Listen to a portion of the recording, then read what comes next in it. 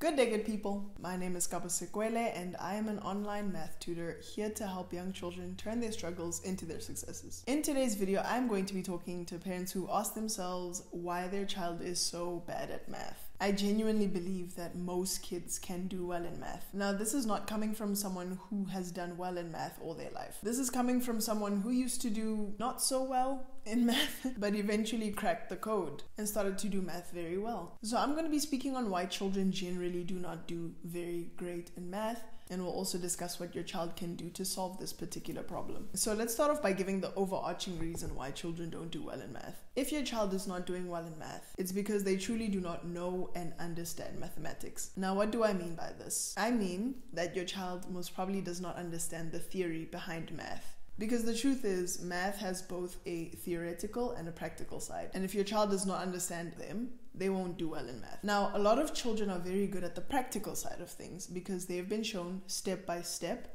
how to solve math problems practically. Right now, you can go to a fifth grader and ask them to add two fractions together. Chances are they may be very good at that because that's what they've been taught in class. However, stop and ask that same fifth grader what a fraction is. Not how to add or subtract it, but what a fraction actually is. He or she may struggle with that because they don't understand the theory behind mathematics. Now, if your child does not understand that, the concepts and the theory behind mathematics, they will be bad at math, guaranteed. Think of it like this let's say you are very good at cooking and you decided to make a dish that made all of your friends go wild. Now, as a result of that, one of your friends came up to you and asked for the recipe. Now, because you know your friend cannot cook, you give them a step by step recipe that explains each and every single step that he or she needs to take in order for this dish to turn out well. Eventually, they use your recipe, and to everyone's delight, the dish turns out well. Does this now mean that your friend is an excellent cook and they understand the theory behind cooking? Or does it mean that they can read and they can follow instructions very well? I think it's more the latter.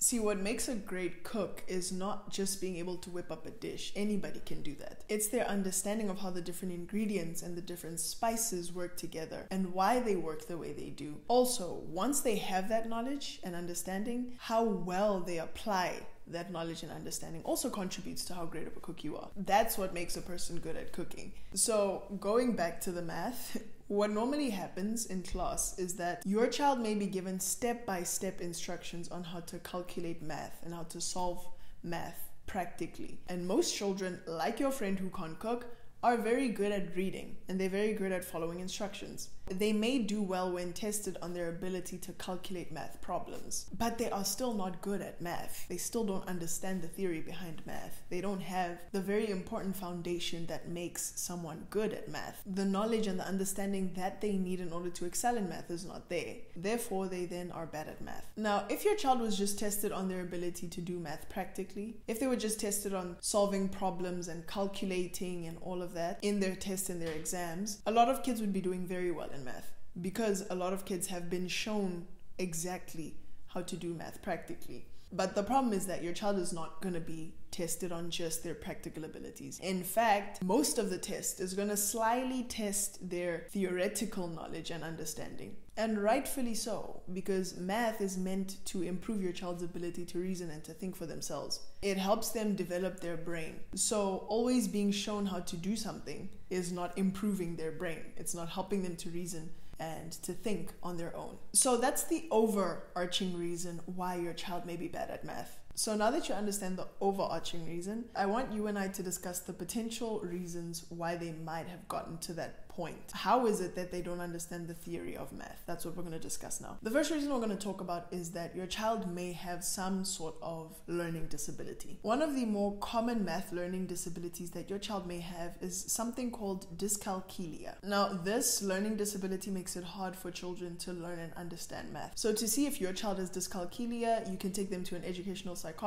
who specializes in that area. They can test and diagnose your child to see if they have this learning disability. Also, there are a couple of online tests that your child can take and they can be diagnosed on there as well. The beauty about this situation is that even though your child may have dyscalculia, it's not as though they are doomed to fail in math for the rest of their lives There are ways to work around it. There are ways that your child can learn math despite having this learning disability. Now, the second and more common reason why your child may not understand math is that their teachers in school have not given them what they need to understand math. They may have never had a math teacher that explains math in the right way and that shows them that they need to understand the theoretical aspects of math. Looking back for me in primary school, I wasn't taught math correctly. My teachers, bless their hard work and efforts, didn't give me what I needed to do well in math. I remember the common teaching method back in primary school was to introduce a new math concept, for example, fractions. And then my teacher would show me how to calculate fractions. You know, they'd show me how to add and subtract, multiply and divide them. And once that was done, I would be then assigned homework to practice those practical skills that they've just taught me. And normally, I did very well with the homework, but I didn't do very well in the test or the exams. The problem with this teaching method is that I still did not know what a fraction was.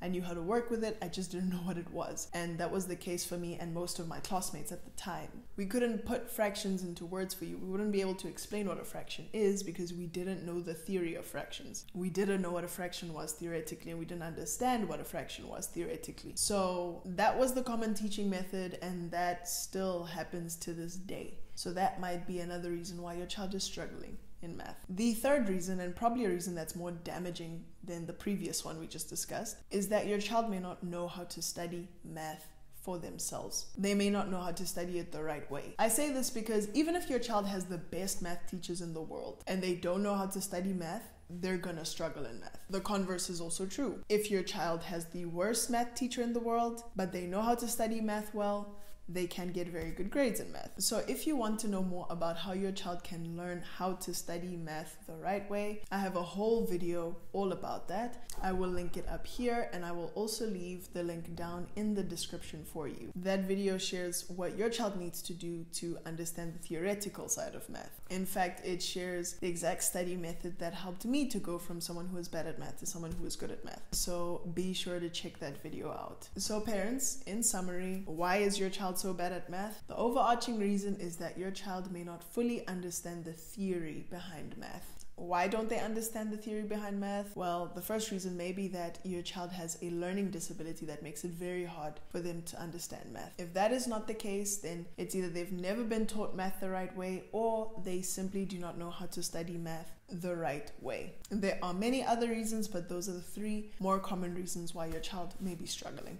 And the truth is, there are many ways to combat these issues. There are many ways your child can improve their math ability and their math skills. Personally, I love helping young people improve their skills in math. So if you are in search of an online math tutor who can help your child in this case, go down to my website and schedule a free consultation with me, and I will see you there. Thank you very much for making it to the end of this video, and I will see you in the next one. Goodbye.